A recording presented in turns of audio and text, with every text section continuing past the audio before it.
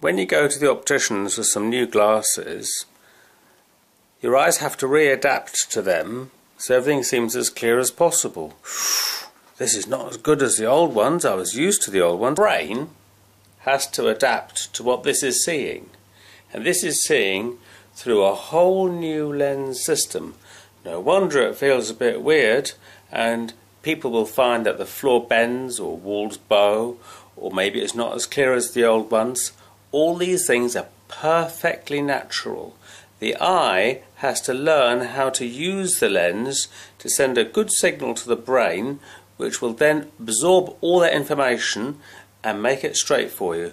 You do this by looking at a faraway thing like a television and you move your eyes through the whole surface of the lens. You'll notice if it's a varifocal, the lower half will be blurry at a long distance and this simply is the reading area.